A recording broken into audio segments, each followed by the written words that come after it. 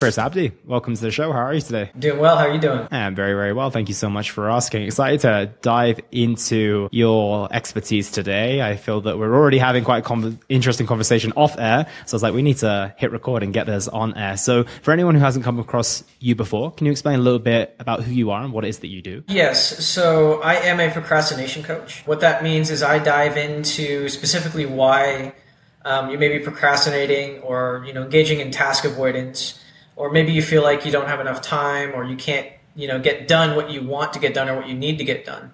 So i, I help take you through uh, the different processes because uh, it's not just about how do i schedule my tasks or, or how do i fill my calendar. If you're not looking at you know your uh, your mindset your energy levels your focus if you're not doing any of that then you know you can fill your calendar all day. Anybody can do that I mean, how easy is it to fill your calendar, right? So uh, that is uh, that's what I do, and then I just I coach you uh, through the process. Uh, we go over your tasks, your calendar. We see if there's an issue there, and then we just line things up um, in terms of the best strategies for you to see how you can uh, really optimize your time and, and get back to either doing everything you need to do, or you know even freeing up your time I mean, a lot of times we feel like we don't have time or, or, we feel guilty about taking time for ourselves. And we need that time for ourselves. You need that time to go to the gym. You need that time to eat properly. You need that time to sleep. So that's that's essentially what I do. Yeah, and I can imagine that this has stemmed from a personal story. Is that true? Oh yeah, I am the ma- I am the master procrastinator, and, and uh, you know, I'm not afraid to admit I, I, still put certain things off. I mean, you know, it's just a human condition, right? We we don't necessarily want to ne- put things off, but I mean, there are just certain things that subconsciously we do it all the time. I mean, uh, you know, if your mom calls, right, or if you're, you know, or if one of your mates calls and then you're in the middle of something, right? We just put it off and we say, "Oh, we'll do it later." Oh, you know, it's it's about prioritization and about uncomfortable, uh, just being uncomfortable, right? That's what it boils down to is that we tend to put things off that uh, we find uncomfortable or we are overwhelmed in some sense. And yeah, I was about to say that. Do you think in many ways it's not necessarily procrastination at times, but it's more prioritization, right? As much as I would love to answer the calls of my family every single time that I'm working, because they do have a tendency to call me in the middle of my work blocks, like I just have to prioritize my work in that moment because maybe it's my golden time where I know that I'm kind of most productive and I'm aiming to get back to it at a certain time in the day. But it's maybe if I'm putting all these different things in my schedule, it's less about them being a priority, but it's like, okay, well, these things need to take precedence at this time because of, in theory, I can call them at any time of the day and it doesn't really have to be at a certain hour. Whereas this work might need to be delivered. And I might have to give something to my client. So how do you tell the difference between the prioritization side of things and the procrastination side of things? Well, my, uh, my, my sort of response to that would be, okay, so when are you going to call your parents back? Well, when are you going to call your mom back? And if you can't answer that like that, that's that's you're, you're putting it off. You're, you're procrastinating for some reason. And do you think it's because of again about very being very very real? Is it a case of saying, well, actually, like I've got a lot of other things on my plate right now, or is it a sense of saying, well, in order to for it not to be something I'm putting off, it needs to have a slot. For example, even if we're on Wednesday today and I say, okay, well, it's going to happen on Saturday morning, even if that's four days away, would that not be classified as procrastinating if I put it in my diary, just, you know, kicking the can down, which I think a lot of people do? It, uh, it really gets into the, the why, the reasoning behind it. I mean, it, again, it gets down to prioritization and how busy you get, but it can also be um, how often you kick the can. I mean, kicking the can once, I mean, it, it, happens. Kicking the can twice, okay. Kicking the can three times, okay, you might want to look at why you're doing that.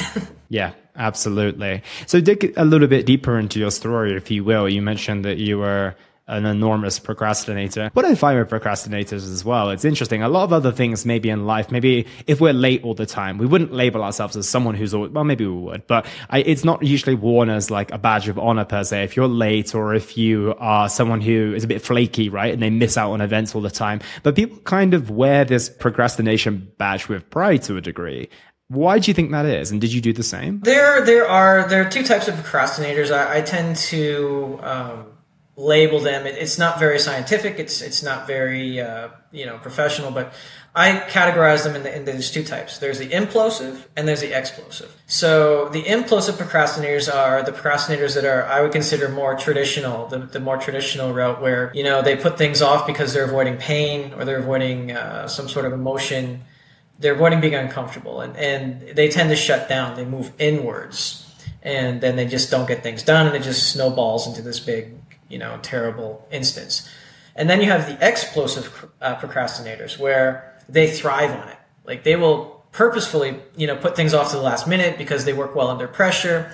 You know there's lots of brain chemistry going on there. There's endorphins. There's adrenaline.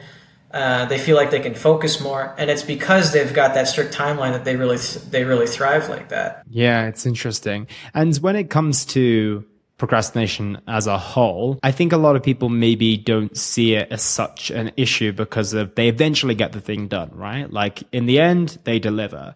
So why is it such a key to, let's say, having a fulfilling life? Like if at some point I call my family, at some point I get around to making the deadline, right? Even if I submit it 20 seconds before it needs to be there. Why is it such a problem if we end up getting the job done in the end? It is such a problem because it uh, it becomes habit, and then it de- it definitely leads to things where you know you can skid by for quite a while. I know I did.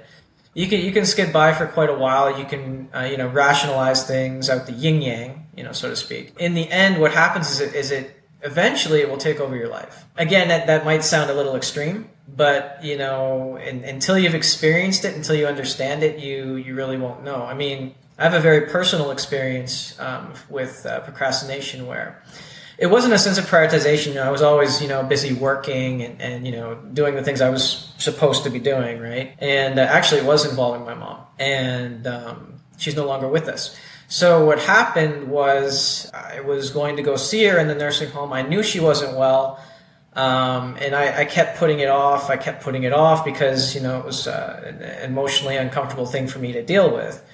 And, um, you know, I gave the excuse that, you know, I was talking to the nurses and the doctors and they said, oh, yeah, you know, she'll probably be okay. So I said, okay, I'll go Monday. Well, Sunday night, you know she uh, she passes. So that's just the uh, it's just the nature of it too. And and you know I felt like it was okay because I'd procrastinated in other areas of my life. And when we don't have any negative consequences that's how habits get formed. And we say oh it'll be fine you know just like the last time right? Was that the tipping point for you? Did everything change thereafter? No no no no. That, that actually wasn't the tipping point for me. That was just an example. The, the tipping point for me was uh, i was feeling very very burned out because I, I'm a very interesting case. I started as an explosive and I turned into an implosive, which can also happen. Um, you know, I, I, used to leave things to the last minute because, you know, I worked well under pressure. And then uh, I took on a little more than I could handle, and then that's when things sort of started to get overwhelming, and I started missing started missing deadlines. And then you know you miss a couple, it's no big deal. You miss three, and then then it's uh, then it, it becomes a big deal. So um, that for me was where I, decided, you know, I, I, had to figure out why, specifically in, the, in that case, why I was, uh, you know, procrastinating. And, and it's interesting because I noticed the shift between the, oh, I got to get this done to now when I've got five things that are overdue, it all of a sudden became the implosive kind rather than the explosive kind. Got you. Yeah, that does make sense. And you've got an interesting concept of the procrastination, the precrastination, and the postcrastination as well. Those are terms I've not come across before. So can you explain those in a little bit more detail for us? Um, sure. Uh, precrastination is actually doing tasks as soon as they're assigned to you. No matter what it is, no matter when it comes in, you get it, you do it. You get it out, out the door as soon as possible. And um, that can actually be just as damaging because uh, there, there's no, normally there's no prioritization and, and you're working off of instant gratification. So uh, what happens is, is, is you'll often then, uh, you'll get inundated with tasks potentially this is usually what happens is is you you do that well for a while and then all of a sudden you come across tasks that, that are a little bit bigger and take you a little longer to complete and then as you're not finished the one another one comes in and boom you're shifting your your attention to the other one that seems to be easier right? And uh, you're just trying to knock that out and then you'll knock that out but then you'll forget or not not not really forget you'll get back to the first one as it becomes more urgent. So the prioritization becomes a little bit uh, a little bit interesting there. Postcrastination is is interesting as well. It's not even technically a real term. it's in the Urban Dictionary, but it's more about purposefully handing tasks in, you know, late or, or after the fact. And it usually, usually it is on purpose. We might not say it is, but usually it's on purpose, uh, just because you want to get things done. So you have a touch of, uh, you know, perfectionist in you maybe, and, and you know, you say it's supposed to be done today, but you'll do it, you know, in two days because you want to make sure it's done right, sort of deal. And obviously, we can see where that can lead to problems. Absolutely. And do you feel that most procrastinators fit in all of these brackets or some fit in more more than others? It really depends. There's a wide range. Postcrastination is more about you taking control of a situation. Precrastination is is about being, you know, preemptive. And um, a lot of procrastinators that are implosive will tend to be precrastinators because you know they, they just want to get things done out of the way with the, the anxiety or the fear driving them that you know they don't want to have too much to do or they, they don't want to just, just the idea of having a pending task makes them just you know feel very anxious because they're not sure when they're going to get it done. Yeah, those people who can't deal with their inbox being above zero. They're always fighting for that inbox zero. I, I get that. But also at the same time, I think that, I don't know if you found this in your experience as well, is that if you are super, super responsive and perhaps you're working in a company, then you almost get punished for your productivity. You end up getting more piled on your plate because of you're the one who can deliver in a certain amount of time. Or even with emails, it's very interesting in the work that I do as well. Quite often I have a client who asks a question. Four hours later, they'll email me on that same chain and saying, don't worry, Elliot, I've already figured this out for myself. Whereas if I responded to immediately, it would be a case of me having to commit between five and 30 minutes or whatever it might be, depending on the task, when actually it can just solve itself with a little bit of time. And I can see where that becomes disruptive. No, for, for sure, for sure. And, and again, it, it's, uh, we live in a world of instant gratification too, right? So seeing that zero is very gratifying. It's something that we can hook onto. And it's just not, uh, it's just not sustainable because at some point we're going to be given a task that is just going to take a little longer. I mean, that's just the nature of the game. Eventually, it's going to happen. Yeah. There's another term that I I don't know if I came across it or if it was just came off the back of one of my journaling prompts or something along those lines. But I would imagine in your industry, you've probably heard of it as well, which is productive procrastination. When instead of doing the thing that you're supposed to be doing, you go and do something that looks very productive, but isn't actually helping you with the task at hand. So maybe I've got a pile of emails and then I go and clean my wardrobe, for example, or instead of doing that long essay I need to write, I go to the gym instead because if that's productive and that's helping me towards where I want to be. However, it's not actually the thing that I need to do. So how often do you see people productive procrastinating? And where does that fit into the pre, pro, and post?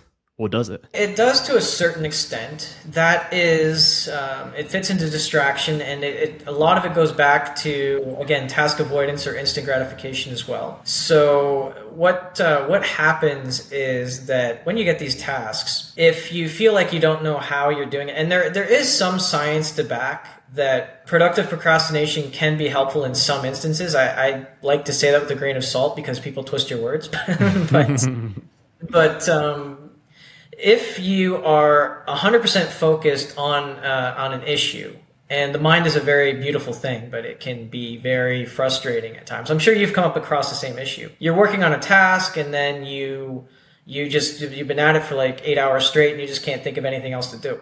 So some people sort of flip that on its head and in some cases and you know not all in some cases when you get a big task like you're writing a thesis or you're preparing for a show or you're doing something um, that requires some sort of creativity, then by going and doing something that you enjoy, you're you're actually processing it subconsciously. So that when you do and you go and you actually start, you're saying, "Oh yes, okay, there's that." It, it's a very fine line between that and then I, I also don't really recommend that just because I'm a big advocate for mindfulness and being focused on what you're doing but it does seem to work for some people's creative process and the subconscious mind is an amazing thing. And if yours works that way and you're lucky enough for it to work that way, then yeah, you can make it work for you. Got you. Yeah, that makes a lot of sense.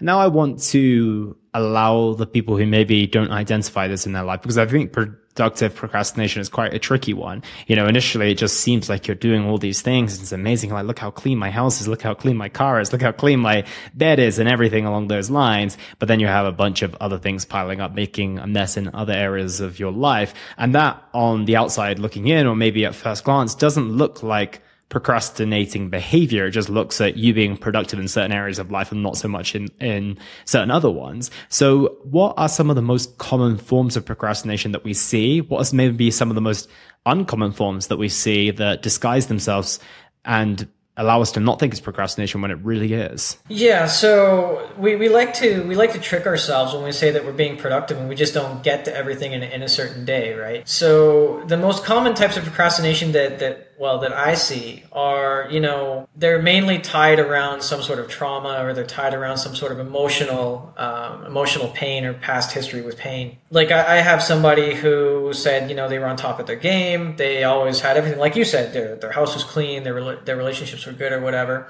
And um, the thing they were putting off was proposing to their fiance, and they've been putting it off for five years. Like, uh, and they, they didn't really think it was that big a problem, but I mean, it was a form of procrastination, and it actually went back to um, back to their childhood, where um, they came from divorced parents, and and you know, the the problems really actually started after um, after the marriage, right? So I'm sorry, I, I, missed part of the story there. So the problem started. They was divorced parents. They got married again. It was a mixed family, but everything was fine. They were mixed together. They were um, you know fiance, and everything was fine. Then as soon as they had that ceremony, everything just you know for X Y Z reason just fell apart, and that stuck with them. And you know it's not even something they were actively thinking about. It's just uh, it was just something that was there. And uh, some of the most uncommon forms of procrastination that I've seen, believe it or not, uh, I have somebody that that uh, I had somebody that didn't want to finish anything. They literally. I mean, I know we talk about uh, procrastination in that they they couldn't finish anything, but it was actually to the point where you know they they wouldn't finish a meal. They would leave like one Cheeto in a bag. It, it was that kind of thing. And, and, you know, it was very strange because they didn't want to complete things because they felt that, you know, once it was complete, they were worried about not having anything to do.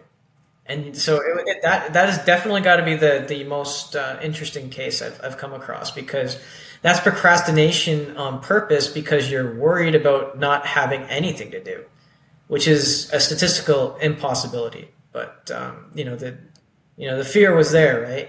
So they just they didn't finish anything. They left everything at like 98, 99%. Yeah, maybe it's something that they put us down as nothing that's worth doing, right? Because of them, maybe they can no longer distract themselves and then they have to entertain the dark corners of their mind, right? Because of if they have nothing to do, then, you know, what else is there to occupy the mind that's probably very active and very busy? Well, yeah, dive deeper into that. That was a client, right? So you dove deeper into that. What did you find, if you don't mind revealing that, beneath the surface of not wanting to finish anything? Yeah, so you you're you're pretty close. They didn't want to. They didn't want to have nothing to do because they they had a very um, a very big tie to to self worth. And they figured that if they were doing nothing, then they were worth nothing. It didn't matter what that thing was they always had to be doing something, even even if it wasn't productive. And it it stemmed from in in their childhood how they were never paid. Nobody ever paid attention to them in the house unless they were doing something. So if they were doing nothing, they felt invisible. And it just it was just this this um, it, it, was very interesting. And uh, again, it was but it was more tied towards internal validation, if that if that makes sense. Yeah, makes a lot of sense makes all the sense to be honest and it's interesting how we can always link it back to something. So how did you start pulling on that thread? I'm curious about okay we get started we see that someone's not finishing anything and are they relatively self-aware? I'm imagining that some people are very aware of the reasons why they do things, but other people you have to kind of pull on that thread until you get the insights. So did you have to pull quite hard on that thread or did they have some idea of that? I'll be honest with you. I had to pull at a lot of threads because I was, because it didn't even really start with that. It, it was, um, you know, I was, they, they were talking to me. They, they'd, um, the the first thing was is, is, that they would leave five minutes five minutes before we, we finished our session and and so I was asking like hey, what you know what what happened you know we were talking everything was good you, you all right It's like, oh yeah, I just I just don't finish it. So, oh, okay, so what makes you not want to finish it? He's like, well, I won't have some, I want to have something to talk about next time. And I said, you know, well, you you don't have to worry about that. I mean, there there's always plenty to talk about. There's you know, you're never going to be sitting in silence. And, and, then, so we sort of worked on that for a bit. And then, um, you know, he, we noticed that it, it, stretched into other areas too. And so, you know, you, you start asking the questions, well, okay, so what do you feel when you do that? And, and it was interesting because uh, at first it was, oh, you know, I feel nothing. What do you mean nothing? I mean, you, you have got to be you know there's got to be some sort of feeling that you're getting some sort of impulse that, that, that, you're doing this you're doing it. And and then they they went into they said yeah well you know I and it was interesting because it's like you know I, I feel I feel like I, I've accomplished something if I leave something there for me to do tomorrow. And that and that's sort of like well okay well you know why and then and then and then that then they had this sort of breakthrough moment where they, they realized that and it was so difficult getting to that point though you know and they said oh and they said oh okay it's because if i don't have anything to do then you know i'm not going to be worth any you know worth anything or anybody's time.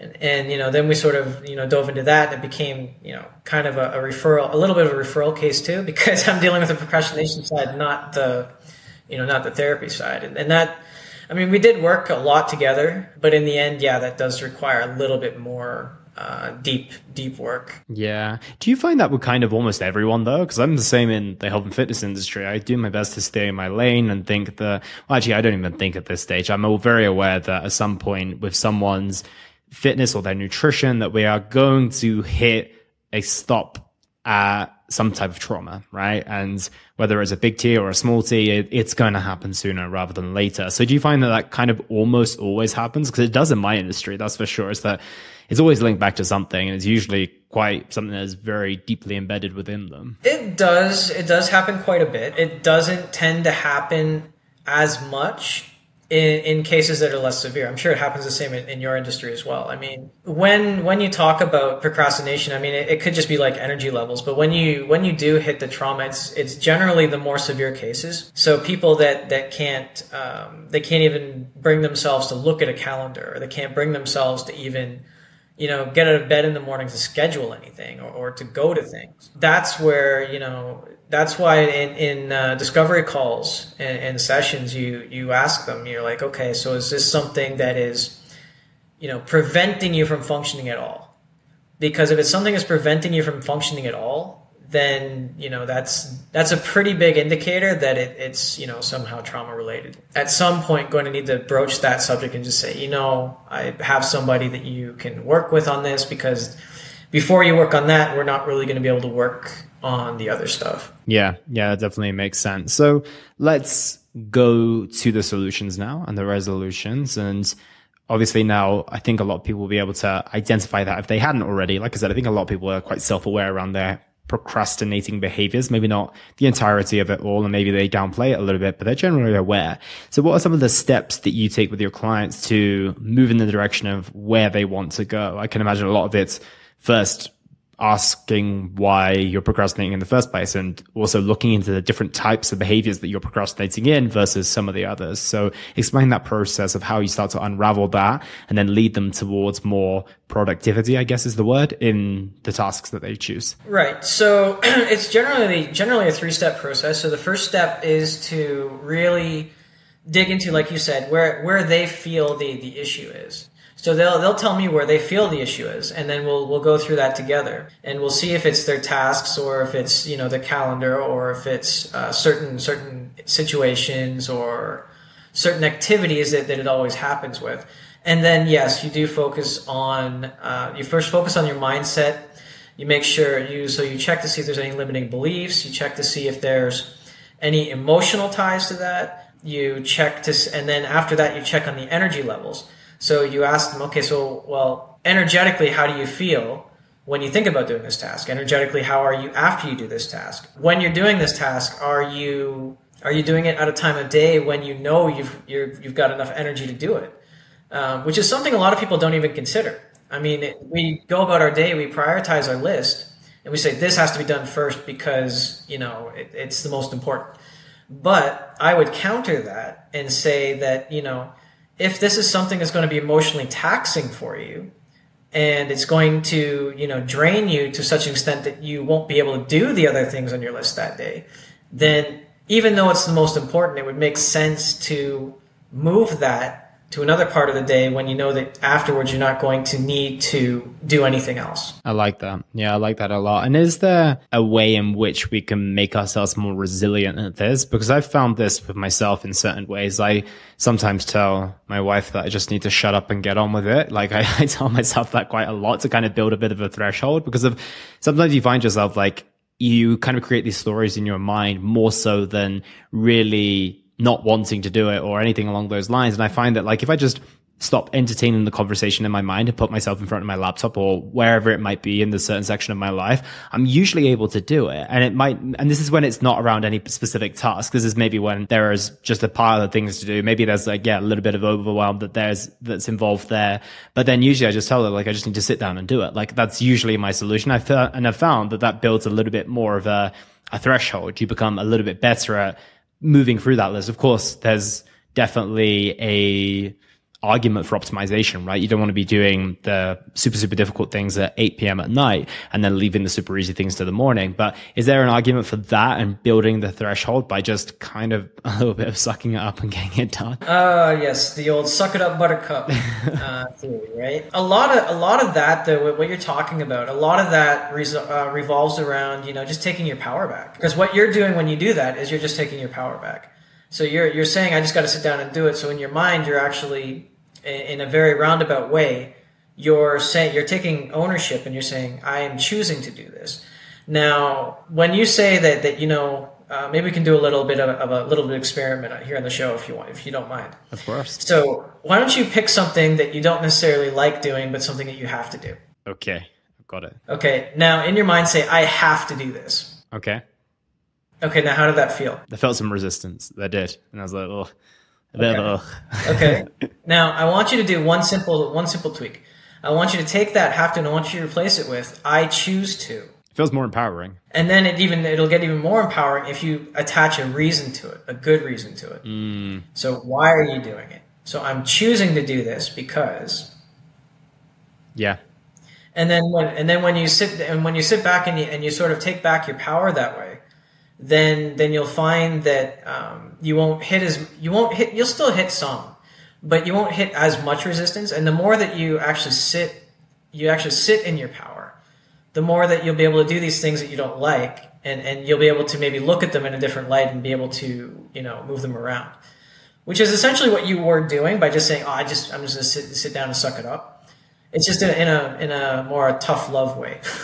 that tends to be sometimes the way I work. But I found that also like it's also not just doing this and not saying, okay, well, every single um, solution needs this like hammer approach, right? Like that's not the reality. Like I've worked out that okay, if it's getting to six, seven PM at night and I'm still working, then it's probably wise to be doing something that doesn't take too much of my mental energy, right? It's like something that needs to be done, but it's more passive. It's it's a little easier to do, and it's maybe like I don't know something around social media, for example, which doesn't like if I'm editing videos or something along those lines, that doesn't take an incredible amount of headspace to do it. Whereas I'm not going to be taking an interview like this, for example, or I'm not going to be writing, you know, the best newsletter I ever want to put out. It's more a sense of saying, okay, well, you know, client work and all that type of stuff gets pushed to the early stages of the day. And if I know that my energy is going to dip, rather than trying to put something in there that's going to require a lot of mental load, I then put something that also still needs, or I, I still choose to do because I want to, but it just requires a little less mental energy. And I find that that comes with a lot less resistance as well, because I'm like, ah, perfect. I get to do the easy work now.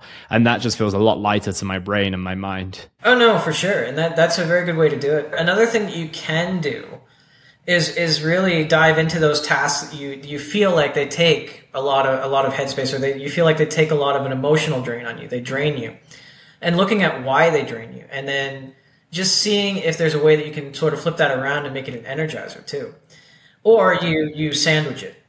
Um, you know, sometimes uh, there's this, there's the sandwich technique too, where if you know that you know, uh, it's a very uh, mentally and you know um, emotionally draining task, but you have to do it at 1 p.m.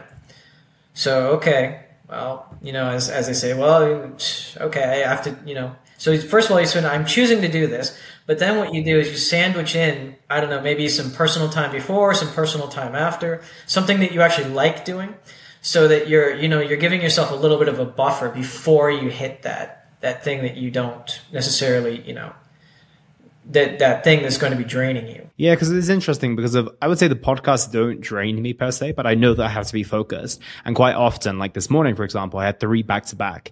And what I usually do is I leave 15 minute breaks in between. And before I would, you know, jump back onto my email, send across some emails. But now I just pretty much I go grab myself a coffee. I go talk to my wife, for example. So I like that sandwich approach because if that makes it feel lighter to the point where I get to the next one. I'm like rejuvenated in a way. And it's not that I'm not looking forward. I actually really enjoy. I just know that I need to be on top form. I want to be able to articulate myself the best. I want to be able to ask the best questions as possible. So by adding those soft edges in between, yeah, that's, that's proven to be beneficial. So, so I like that take. And then transitioning onto mindfulness, you have mentioned that maybe one or two times throughout the course of the conversation so far. What role does mindfulness play in procrastination and productivity? Well, mindfulness is that, that goes down to, um, that goes down to focus and, uh, what I like to call energy management too. So we all do, and this is something that I, I really hate, and, and something that I'm trying to get out of. Like all the corporate clients that I see, if I have the ability to just go to their department head and say, if you say multitask one more time, I'm going to stick my foot somewhere you don't like. because multitasking is is uh, it's counterintuitive and counterproductive, right? So mindfulness really comes in by helping us stay rooted in the present moment, and we stay rooted in the present moment so that we can stay focused. Because if you put 100% in, you're going to get 100% out. I'll give you an, uh, just just a quick example. I had somebody at uh, at one of the corporate events. They said they, they didn't understand. You know, their wife was complaining all the time. This isn't my even my area. You know, this is my wheelhouse. This is a relationship now. And, and uh, you know, he said, uh, I do all this family time, and they still complain. You know, I, I do the work. I, I, you know, I'm not working overtime. You know, what's wrong? And he, as he's talking to this group of people, he's on his cell phone, he's on Facebook, he's he's doing this other stuff, and and, and you know I, I, just sort of said, well, do you do that when you're with your family? So, well, yeah, I got to keep up. This is the only time I have to keep up to date with things. So, said, okay, so you, so what amount of your attention is going into that right now, as opposed to the conversation we're having? He's like, oh, I'm usually giving you eighty percent. Like, okay, does your family deserve eighty percent? You know, um, is the work that you're doing when, you, when you're actually working, are you giving 100%? You're, well, of course I'm at work. Okay, so why can't you give that with your family? like, um, and, and, again, you know, we're all guilty of this to some extent eh, because, you know, I got called out on it by my daughter. she, uh, she actually, because uh, I was telling my wife this story and she turns to me, she, um, my daughter turns around to me and she's like looking at me and she's like, giving me this look. I'm like, what? She's like, you do that all the time. Like, what do you mean? Like when we're at, like not all the time, but when we were in the car and we were having a conversation, I was checking emails. She was like, "Well, you do that too." Like, you know what? Yeah, okay, yeah, you got me. So, I mean, we're so ingrained with multitasking that we don't even really pay attention to when we're doing it or when we're not doing it. But mindfulness really plays a part because if you can focus and stay in the present moment, it doesn't leave room for um, for anxiety or depression because depression's in the past and anxiety's in the future, right? So as long as you're focused on the task at hand, you're not anxious about the outcome of the task. You're not anxious about you know what's coming next. You're just focused, and you'll find that your quality goes up, and it doesn't take you as long to do things. Because if I'm on my phone, if I'm talking to you, I'm on my phone and I'm writing, uh, I don't know, I'm writing an email I'm giving what 33% of my effort to each of those, and it's actually taking me maybe 10 minutes to write that email when you know it could have been done in three minutes because I'm having to go back and reread and make sure I didn't make any mistakes. So uh, mindfulness plays a very big part in procrastination because it, it means that we can be stay rooted in the present moment and not get distracted. Distraction was a big part of procrastination, and as long as you can stay focused, then um, you can actually push through and, and actually get that awareness like you were talking about too and just understand so if you're feeling that resistance you're more able to deal with it because you're fully there you're fully present you're able to reconcile that within yourself and do you think it's more challenging in our modern world with all the technology and all the distractions that we have or is this just an ever existing issue that this is just the current problem. You know, let's say something else was the problem in the past.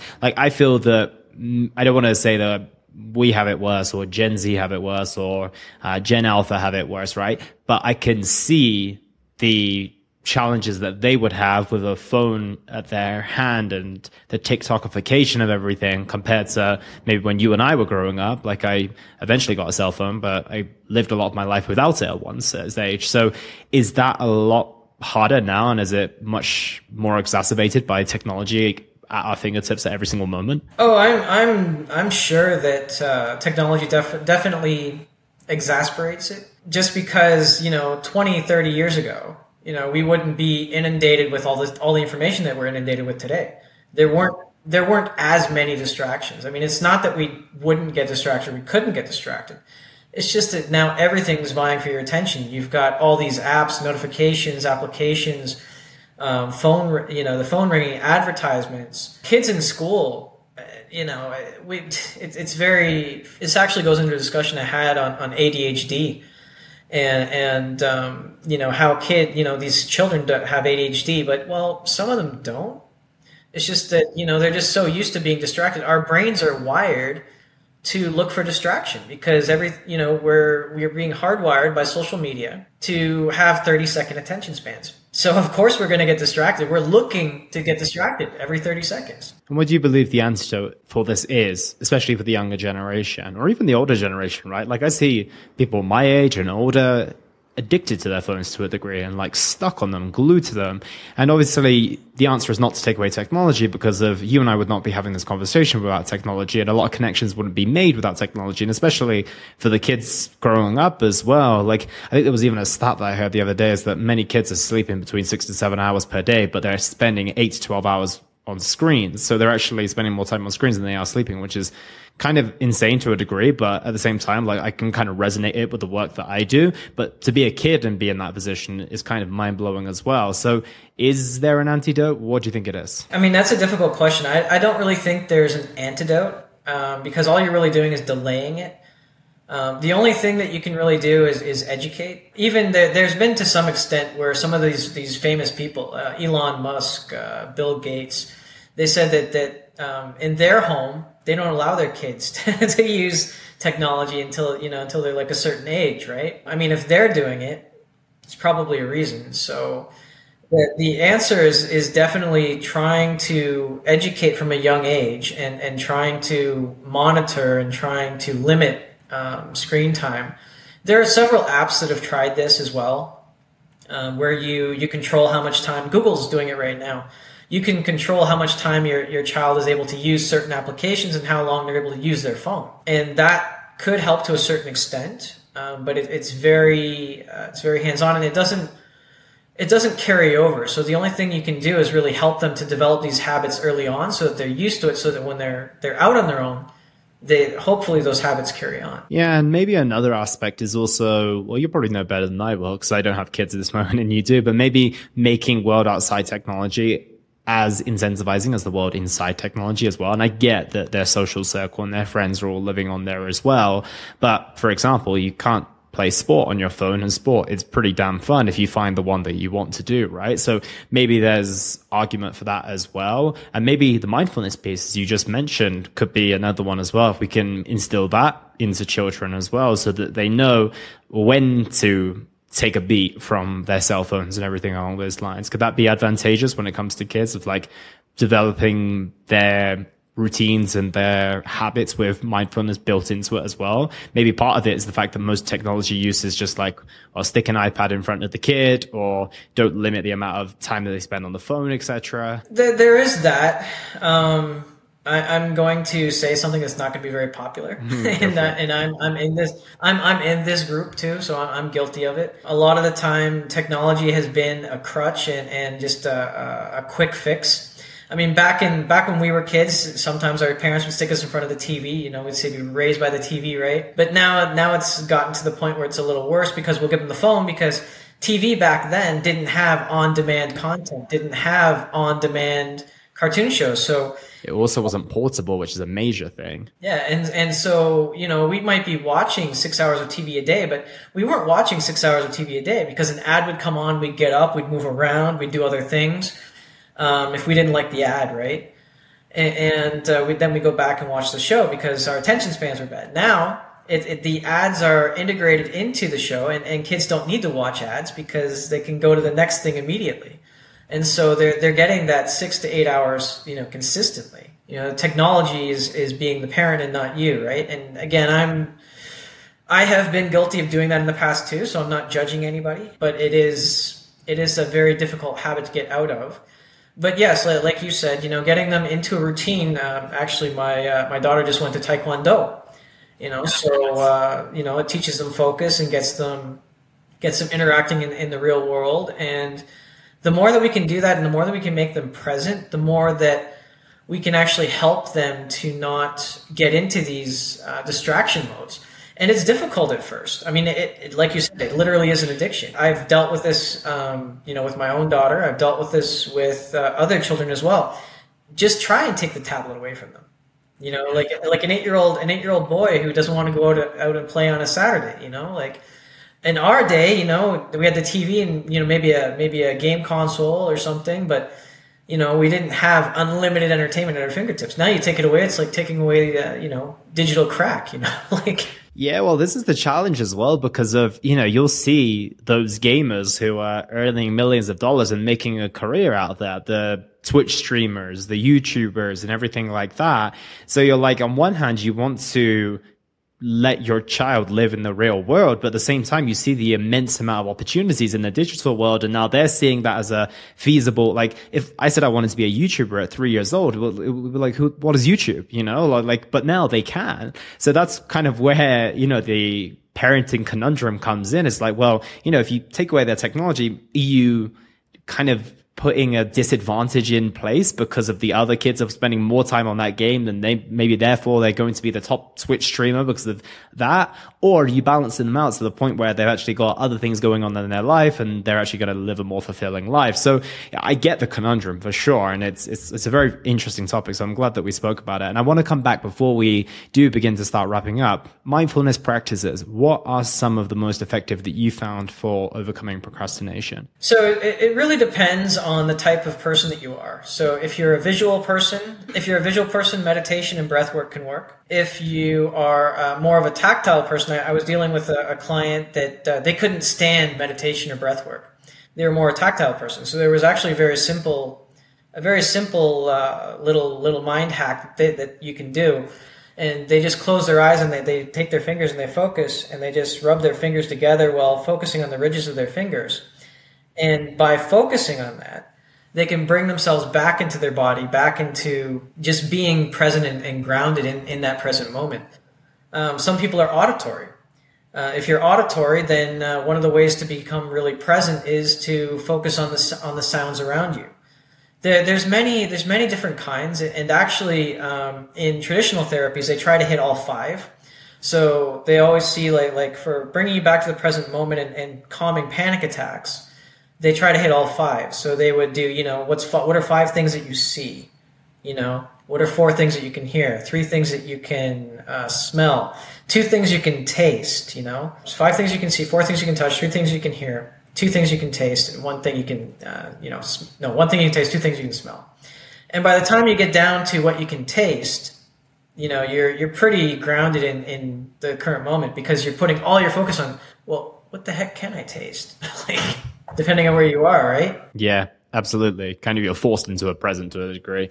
Any others that come to your mind? Anything like journaling? Anything like maybe just getting outside for a walk? Are those some effective forms of mindfulness? One of the best things I've found, actually, and, and it's it's very interesting because I've done a lot of research on it, is uh, is grounding, grounding, and just being in nature and uh, connecting, connecting to nature. So if you're actually outside and you take your socks and your shoes off and you're standing in the grass or in the sand or wherever you are. I'm not the expert on it, but when you're doing that, you're actually engaging with the electromagnetic fields of your body and of the earth itself. And it, it just helps to bring you back and helps to bring the, the excess energies back out. And this helps you to to have some focus and, and um, it's a very interesting YouTube video. Um, it was called uh, it was called grounding, and uh, they, he was saying that you know to be present we should walk around barefoot all day. Just because then you're being more you're being more connected and and you know is it the energy thing? Is it that they're being more careful because they, they know that their feet aren't protected anymore? You know whatever the case may be it is definitely one of the uh, one of the most uh, effective methods of being in, in the moment for sure. When it comes to procrastination and productivity and all the things that are involved in this world do you see us heading in a more positive direction or do you think that there is still a bit of a rock bottom to hit before we start heading in the right direction. Because I think that within the productivity world and the productivity landscape, everything has been so hyper optimized to the point where it's becoming a little bit tiresome and maybe people are so tied to their calendars that they're actually then becoming a slave of their calendars versus actually living a well-rounded productive life which they were looking for in the first place. And then when it comes to procrastination we spoke a little bit off air about you know ai potentially taking over people's jobs and now they're wondering whether they should have even taken the path into what they have done.